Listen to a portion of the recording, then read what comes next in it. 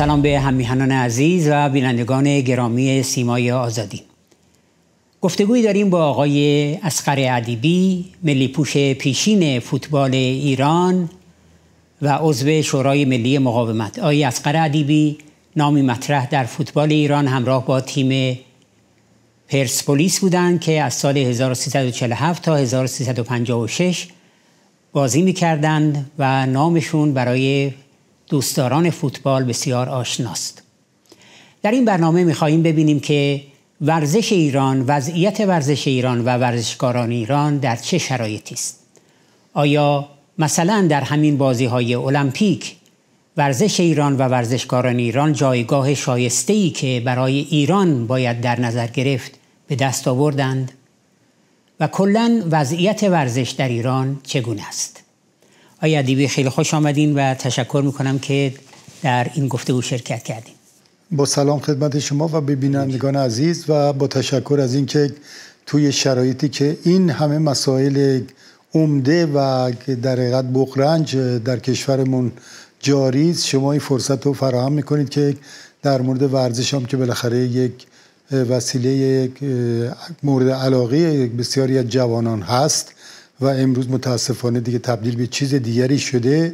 این فرصت رو فراهم می‌کنید که ما بتونیم با هم صحبت کنیم. امیدوارم گفتگوی مفیدی باشه برای مخصوصا نسل جوانی که صحبت های ما رو گوش می‌کنن. حتما اینطور خواهد بود. ورزش هم مثل مقوله های دیگه در میهنمون در حاکمیت آخوندی تحت ظلم و ستم قرار گرفته و خب لازمه که بهش بپردازیم. آقای ادیبی؟ بپردازیم از همین المپیک.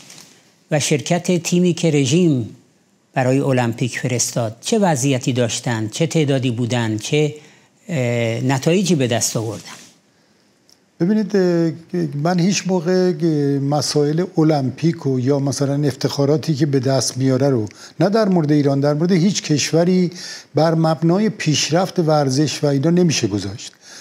پیشرفت ورزش باید روی زیرساخت های ورزشی امکاناتی که برای مردم فراهم می‌کنن امکاناتی که مخصوصا برای تمام طبقات جامعه فراهم می‌کنن. اونجا فراهم ورزش قهرمانی یک حساب کاملا جدا جداگانه داره. شما اگر حتی در کشورهایی که مثلا از نظر ورزشی پیشرفته نیستن شما یه امکاناتی فراهم بکنید سرمایه گذاری بکنید. می‌تونید توی رشته هایی که خب تو هر کشوری مثلا در زمینه های قوی هستن تو اون رشته ها مثلا موفقیت به دست بیارید و خب در المپیک هم شرکت بکنید و اونجا حتی به مدال هم دست, دست پیدا ولی این معیار پیشرفت نمی‌تونه باشه. معیار پیشرفت باید شما نگاه کنید مثلا چه مقدار تاسیسات ورزشی در هر کشوری وجود داره چه مقدار مردم. از بچه ها تا مثلا افراد مسن اینا به ورزش اشتغال دارن و می‌تونن به راحتی با هزینه های بسیار کم مثلا از این امکانات استفاده کنن برای همین من هیچ موقع معیار المپیک و معیار قرار نمیدم. حالا توی ادامه بحثمون رو می‌بینیم که مثلا ایران همیشه در خب دو سه رشته بوده که هم از گذشته هم در حال حاضر خب به خاطر خیلی از مسائل مثلا کشتی یک ورزش سنتی در داخل آن بوده. وزنه برداری همینطور بیشتر اگه شما به تاریخچه المپیک هم نگاه کنید ببینید موفقیت ما در همین زمینه ها بوده و متاسفانه توی سایر زمین ها نتونستن سرمایه گذاری بکنن نتونستن امکانات به وجود بیارن خب الان مثلا من خودم که حتی مسائل ورزشی رو دنبال می‌کنم در المپیک اینقدر تعداد رشته های ورزشی زیاد شده که اصلا آدم بعضیش اصلا نمی‌تونه بشناسه. ما در اون زمین ها اصلا می‌بینیم که کوچکترین قدمی برداشته نشده هنوزم چسبیدیم به کشتی وزن برداری و مثلا این اواخر یه مقدارم مثلا تکواندو و ورزش رزمی که در حقیقت اینا در داخل دنیا ورزش های مورد الان مورد استقبال جوونا نیستن. شما مثلا تو همین المپیک نگاه کنید رشته های مثل دو میدانی شنا نمی‌دونم ژیمناستیک یا مثلا همین ورزش سنگ نوردی و بدمینتون خیلی ورزشی که اصلا در گذشته حتی در بازی های المپیک نبودند. اینا الان کشورهایی هستن که فعالیت می‌کنن میان توی مسابقات شرکت می‌کنن ولی خب پایگاه توی جامعه هم یه همچین امکاناتی وجود داره که جوونا میرن به طرف اون در حالی که مال ما هنوز هم منحصر به همون دو رشته سنتی و سنتی شده. مثلا بله. مطالعه توی شنا هیچ تا به حال نتونستیم حتی یه مدال برنز کسب کنیم. یا مثلا در مسابقات وزن برداری فقط در تمام طول تاریخ ما یه مدال به دست آوردیم. اونم مثلا رشته بوده که در حقیقت رشته های سنگین بوده برای پرتاب وزنه و اینا. ولی در مورد ورزش های مدرن کوچکترین نه امکاناتی در داخل ایران وجود داره در ادامه بحث ها می‌رسیم. مثلا یک سنگ نورد ایرانی که موفق میشه به دلیل استعدادهای شخصی و پشتکاری که داره این به المپیک دسترسی پیدا کنه مثلا با چه بزاعتی تمرین می‌کرده با چه وضعیتی بوده. تازه مثلا این بند خدا کارمند شهرداریان بوده به خاطر اینکه مثلا تو همین خیزش مردم از مردم هواداری که از شهرداریان بیرونش کردن. بعد مثلا رفته تو خونش یه چیزی شبیه مثلا سنگ نوردی درست کرده اونجا تمرین کرده. در حالی که مثلا شما پاریس وقتی میرید تو هر کوچه و برزن شما نگاه می‌کنید مثلا می‌بینید که باشگاه سنگ نوردی مدرن برای نه فقط قهرمانان برای تمام جوونا بچه ها نمی‌دونم بزرگسالان دایره. یعنی معیار و پیشرفت ورزش در حقیقت باید از این زاویه دید که متاسفانه در طی این چل سال ما سیر نزولی هم داشتیم. به حال نتایج این دوره المپیک رو چگونه می‌بینید و چجوری ارزیابی می‌کنید خب طبق همون روال چیز دیگه طبق همون روال گذشته گفتم مثلا تو رشته کشتی مثلا من که در گذشته خودم خیلی علاقمند کشتی هم بودم مثلا تو بازی آسیا هم می‌رفتم مثلا اونجا دستیار مربیاب شده بودم خودم کیفیت کشتی رو که می‌بینه خیلی نسبت به گذشته پای اون موقع رقابت مثلا بین بعضی از کشورهایی بود که اینا الان به طور کلی از این صحنه خودشونو کنار کشیدن. مثلا موقع اتحاد جماهیر شوروی بود بلغارستان بود کشورهایی بودن که یا ترکیه بود. اینا در حقیقت مدعی بودن. الان اینا دیگه هیچ کدوم توجهشون رفته به طرف ورزش های دیگه. به همین دلیل هم شما نگاه کنید ما بیشتری موفقیت تو کشتی به دست آوردیم و خب توی به اصطلاح تکواندو و در حقیقت مجموع دوازده مدالی که ایران به دست آورده بیشتر سر همین قضیه هست و همینطور که خدمتتون عرض کردم در سایر ورزش ها مثلا ورزش های مدرن ما شرکت کننده ها مثلا داشتیم ولی کوچکتری موفقیت نداشتیم. بله. نکته ای که مورد توجه قرار گرفته بود در همین المپیک تیم پناهندگان پناهجویان بود که از 37 بازیکن در این تیم که وجود داشت حضور داشتن 14 نفرشون از پناهجویان ایرانی بودند که از حاکمیت آخوندی هجرت کرده بودند و یا از ستم و سرکوب فرار کرده بودند این رو چگونه ارزیابی می‌کنین آقای ادیبی؟ دقیقا خب دیگه یکی از نکات اسفبارام همینه دیگه. شما ببینید از یه تیم 37 نفره که مثلا در بین صد خورده کشور است مثلا 14 تاش از ایران اینا هم احتیاج به یک بررسی های جداگونه داره که اینا چرا یه همچین شرایطی پیدا می‌کنن و از همه غمینگیستر خب بعضی از اینا مثلا فقط این 14 نفر محدود نمیشه. تعدادی هم بودن که فکر کنم 5 تا 6 تا هم بودن که اینا در حقیقت رفته بودن عضو کشورهای دیگه. شده بودن از جمله مثلا همین خانم علیزاده که رفته بود عضو کشور فکر کنم بلغارستان بلغارستان شده بود. و خب چقدر واقعا برای مثلا یه ایرانی باید مثلا ما یه سرشکستگی باشه که دو تا دختر ایرانی که هر دوتاشون مثلا می‌تونن برای کشورشون افتخار کسب بکنن اینا روبروی هم قرار بگیرند و روبروی قرار گرفتن اینا در حقیقت مردم ایران به طرف اون کسی برن که دست رژیم فرار کرده. ما در همین قضیه این دوتا دیدیم که من گفته های خود خانم کیانی رو میگم. خانم کیانی یک مسابقه من ازش دیدم که می‌گفت من تو هواپیمامو که بودم داشتم مثلا برمیگشتم می‌رفتم ایران آرزو می‌کردم که هواپیمام سقوط بکنه. اینقدر به من حمله کرده بودن و به من ایراد گرفتن که تو چرا در مقابل علیزاده آذر شدی؟ بعدم آرزو می‌کردن که من در مسابقه فینال ببازم. خب حالا من تو مسابقه فینال باختم. دیگه چرا اینقدر به من حمله می‌کنید چرا اینقدر اظهار خوشحالی می‌کنید و فلان اینا؟ یعنی ببینید این واقعا اصف باره من دلم برای خانم و برای همچین ورزشکاره میسوزه. یا مثلا ماجرایی که بعدا براش پیش اومد نمی‌دونم جار جنجال راه انداختن که مثلا این خانم درخواست کرده که تو دانشگاه پزشکی بدون کنکور قرار بده خب چرا مثلا؟ میگه دانشگاه دانشگاه ایران و مثلا دانشگاه پزشکی فقط یه دونه ورزشکار یه همچین تقاضای نامشروعی داشته. میگه اینا این همه آدم بی سواد و ناشایست و اینا رو به عنوان دانشجوهای ممتاز نمی‌برن تو دانشگاه اونجا چیز می‌کنن و بعدا معلومه که چه دکترای تبدیل می‌کنن و استادای شایسته رو بیرون می‌کنن و کسانی رو جایشون می‌ذارن که از همین دانشگاه مثلا مطرح گرفتن. خب چه اصراریه که مثلا قضیه این خانم رو اینجوری مثلا تو بوق و کرنا بکنن بعدم سعی بکنن که مسائل جامعه رو مسائل اصلی جامعه رو از این قضایی به طرف یه همچین موضوع پیش پا, پیش پا افتاده ای ببرن که آی دنیا زیر رو شده که دختری که مثلا تو المپیک مدال گرفته اومده فلان کرد. خب این در حقیقت اون همون من اسمشو می‌ذارم این شیادی های آخونده که واقعا تو این زمینه استادن. و اگر یه همچین کاری یا حالا مثلا این اومدن یه خانم رو انداختم که مثلا ایشون به عنوان نمی‌دونم زائر اربعین را بیفته اونم در حالی که شما خودتون دارید می‌بینید مردم ایران توی این فقر و گرفتاری و بیبرقی و اینا برید ببینید اونجا چه امکاناتی فراهم کردن. و من واقعا زر دیروز یه صحنه دیدم که اینا مثلا میزای غذا رو چیز می‌کردن. واقعا گفتم که واقعا این آدمای احمقی هم هستن خب اینا خشم مردم بیشتر چیز می‌کنه. شما این کارا رو جلوی چش مردمی نشون می‌کنید که یه زن مسن یه پیرمرد با هم دیگه سر سطل آشغال سر مواد غذایی با هم دعواشون میشه. واقعا شما چه آدمای بیوجدانی هستید که اونجوری اونجا دست و دل بازی می‌کنید مردم رو توی گرفتاری برق و اینا می‌گذارید. نمی‌دونم که اینا کلی حالا غیر از خسارت که توی مثلا یخچالاشون می‌خوره فریزش بخوره دستگاهشون میسوزه. کسی هم به اینا پول که نمیده که. بعد, بعد, میرید اونجا می‌کنن بله. میرید اونجا بیابونا رو تبدیل به چراغونی می‌کنید و فلان خب این دقیقا نشون میده که این رژیم واقعا به مسائل مردم چگونه نشون نگاه می‌کنه. امر ورزش هم این قضیه نمی‌تونه مستثنا باشه و حتما که این هم جزوی از همون قضایی است بله اشاره کردین آقای ادیبی به برخوردهای مردمی با در حقیقت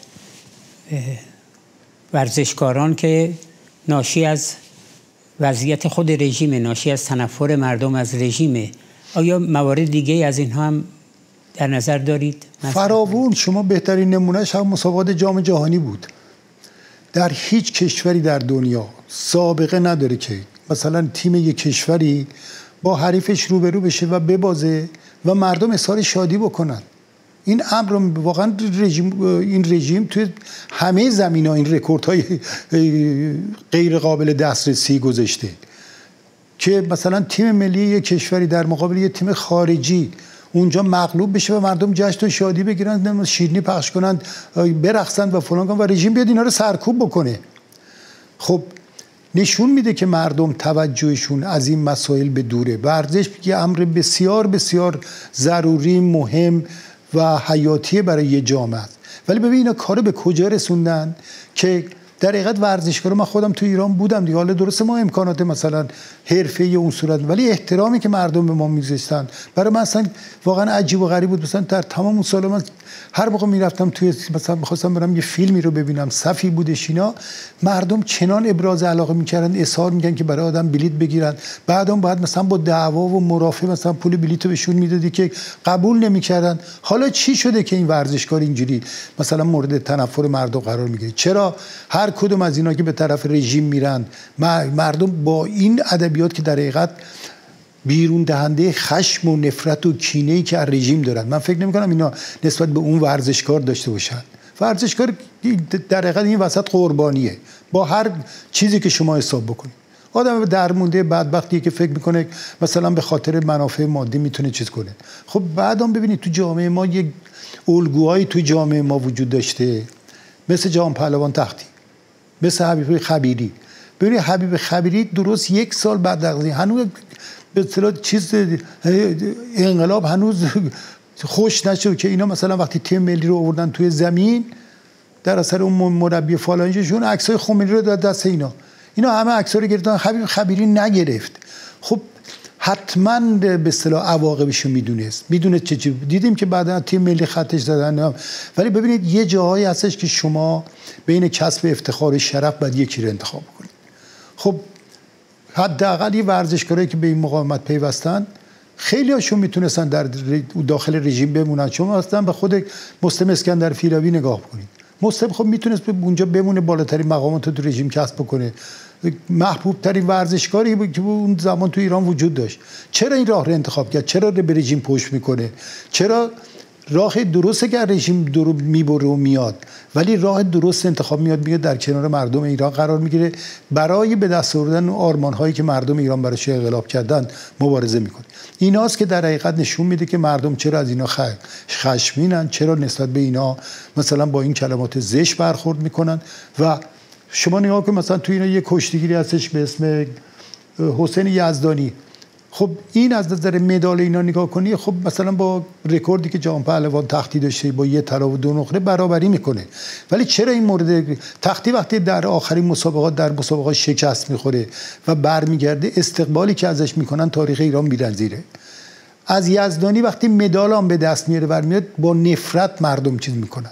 شما مثلا مراسم همین بدرقه استقبال مردم از چیز رو در نظر بگیرید همین تیمی که رفته بود المپیک و با دادار و دودور رژیم که آی ما نسبت به المپیک قبلی هم مثلا دو تا مدال بیشتر گیرودی به مردم اصلا کوچکترین واکنشی نشون بله. نرفتن اونجا نرفتن چیز بکنن. چرا؟ چرا یه همچین چیزی؟ این نشون میده که ببین مردم به رنگ مدال چیز و اینا نگاه نمی‌کنن. در همون زمان هم کسایی بودن که از تختی مدال به مراتب بیشتر داشتند ولی هیچ کدوم مورد علاقه مردم به تختی به خاطر بود که در مردم ایستاد در مقابل دیکتاتوری ایستاد در مقابل ظلم ایستاد و طرف مظلوم گرفت. بله و ورزشکارانی که به مقاومت ایران پیوستند دقیقا راه تختی رو پیمودن. شما اشاره کردین به پهلوان مسلم اسکندر فیلاوی و بقیه یاران و دوستان خودتون که الان در مقاومت ایران هستند از فوتبالیستا کشتیگیرا داورهای فوتبال و بقیه. خب دقیقا همین دیگه. یه جا از که شما باید, شما باید در حقیقت اون راه رو انتخاب بکنید. من که گفتم یه دو راه بیشتر جلوی آدم نیست. راه سومی وجود نداره.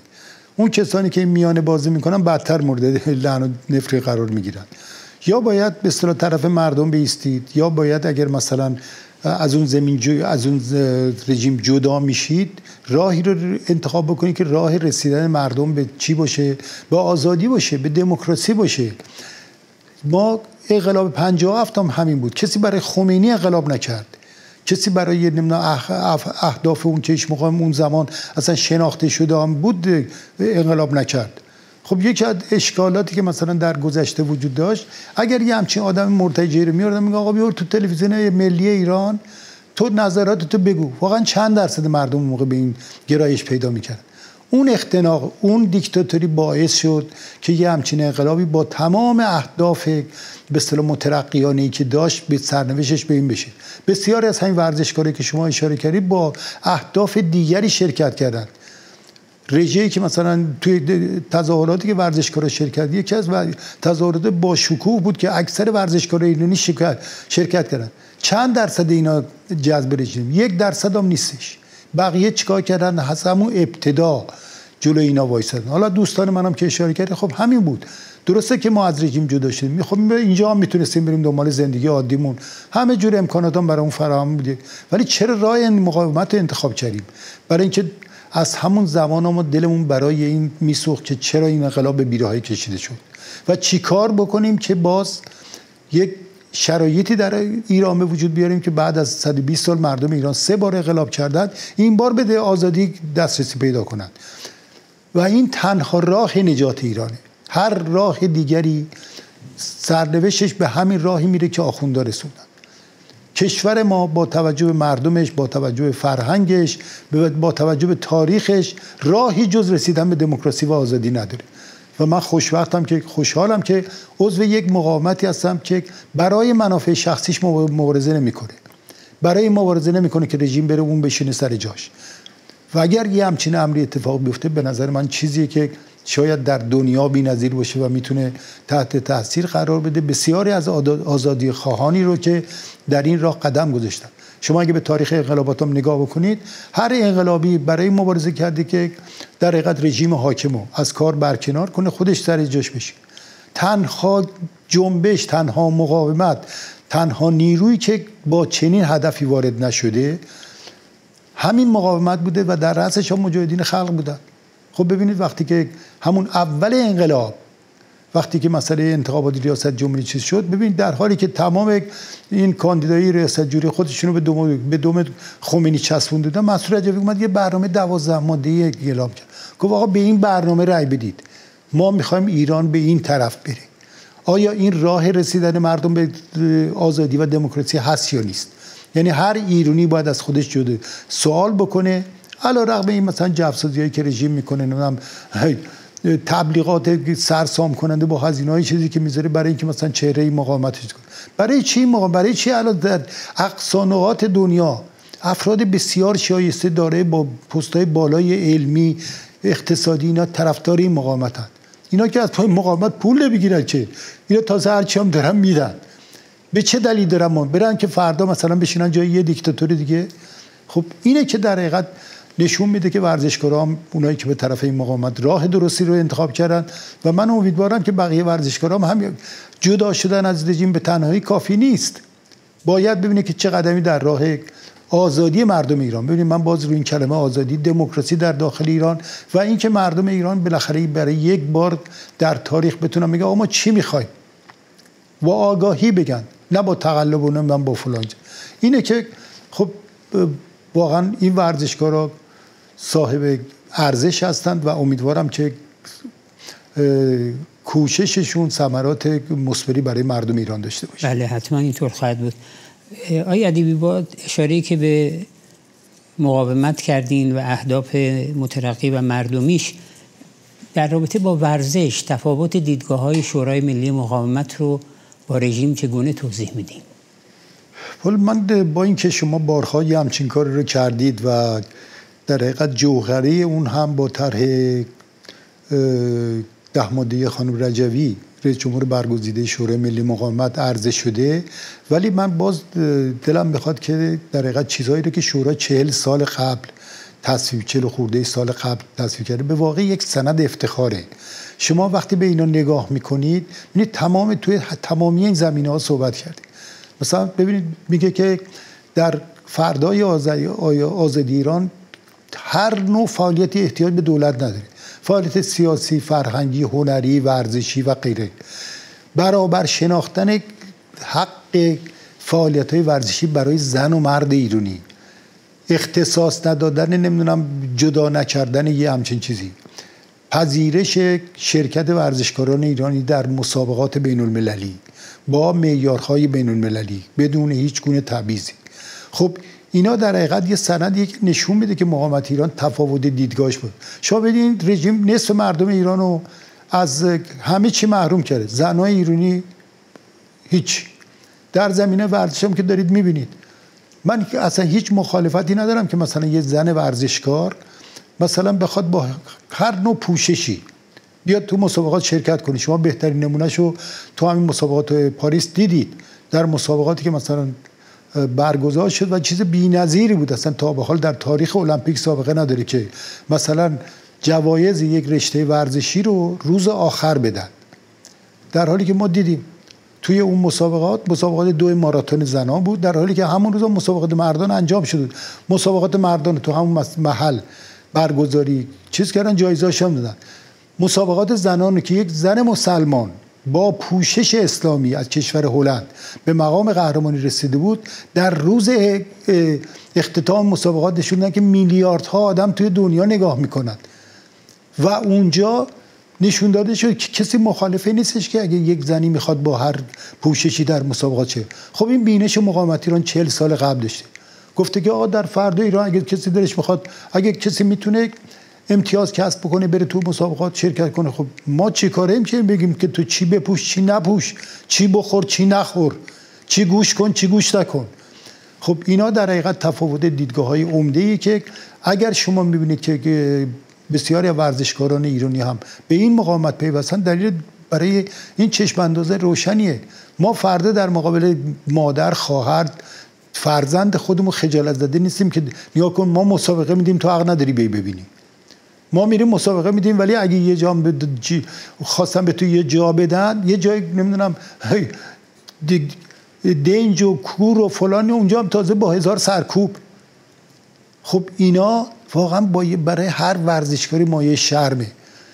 چه من مادر من اون موقع 50 60 سالم که اصلا اهل ورزش ایران نبود. بعد از اینکه فهمیدم من مثلا مسابقه میدم یواشکی بیاد می‌رفت تو استادیوم. خب حالا چه جوری ورزشکاری؟ اینو برای خودش یه ننگ نمی‌دونه که میره مسابقه میده زنش حق نداره بیاد بازیش ببینه. خواهرش و مادرش حق نداره بیاد ببینه. یه دختر حق نداره به مثلا بره تو مسابقات شنا شرکت کنه تو مسابقات ژیمناستیک شرکت بکنه. خب مقاومت ایران به روشنی اینا رو بیان کرده و نشون داده تفاوت دیدگاهاش با رژیم آخوندی و حتی با رژیم گذشته چیه؟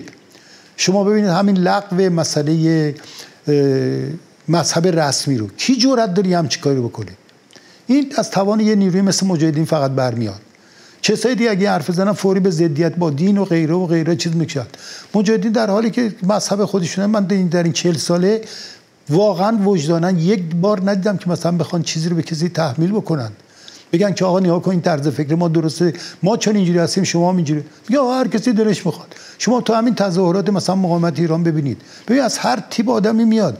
تا حالا یه نفر شنیدی که مثلا کسی بیاد به این بگه که آقا تو چرا چه چی پوشیدی؟ چرا چی میگی؟ چی کار می‌کنی؟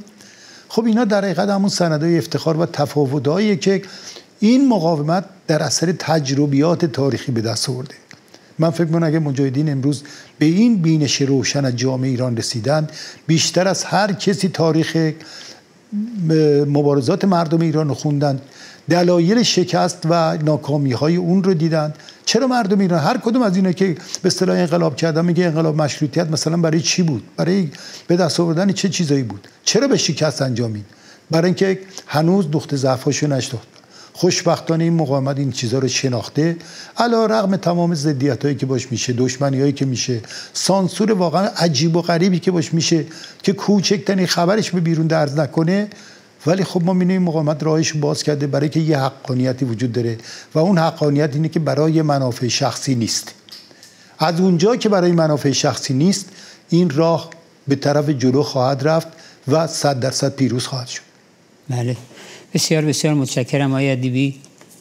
گفتگوی کوتاهی بود. جا داشت که دوستان و ورزشکاران قهرمان ملی هم که در مقاومت هستن در این گفتگوها انشالله فرصتی پیش بیاد شرکت کنند و باز هم از نکات و نظرات شما و دوستان مطلع بشید. اگه شما اجازه بدید من یه چیزام در مورد آینده بگم. ببینید این المپیک 2024 تموم شد. کشور فرانسه بسیار موفقیت آمیز یک چیزی که که واقعا فکر من باعث افتخارش خواهد شد و باعث پیشرفتش. المپیک بعدی در شهر لس آنجلس آمریکا برگزار خواهد شد 2028 من امیدوارم که این رژیم عمرش به اونجا نرسید و حتما چنین چیزی خواهد اونجا مردم ایران با چهره دیگری از مردم با چهره دیگری از فرهنگ ایران و با چهره دیگری از ورزشکارا روبرو خواهند شد. اونجا مردم ایران خواهند دید که چگونه با در همین مسابقات پاریس دیدیم. هیچ کس به تماشای مسابقات جز یه سری آدم های سفارت اینا کسی تماشای مسابقات چیز نرفت. در حالی که همه کشورها توی ورزشگاه پر بودن. من مطمئنم که در المپیک آینده زمانی که این رژیم به گورستان تاریخ سپرده خواهد شد مردم ایران استقبالی خواهند کرد با توجه اون جمعیتی که توی آمریکا داره که بی‌نظیر خواهد بود. شاید مثلا بعضی از استادیوم ها جمعیت ایرانی جمعیت حتی خود آمریکایی زیادتر بشه. و این نوید دهنده اون چیزی که ما می‌خواد به همین دلیل وظیفه بسیار بسیار خطیر و دشواری به دوش ورزشکاران ایرانی نباید تسلیم این جو ناامیدی یس و تبلیغات عجیب و غریبی که رژیم می‌کنه که ببین ما قدرتمندیم ما نمی‌دونم کسی بارو نمی‌تونه شکست بده فلان. همه دارن می‌بینند به چه وضعیت افتاده. شما همین روزا به این وضعیت نمی‌دونم مجلس و انتخاباتی که برگزار کردند و تایید کابینه نگاه بکنید.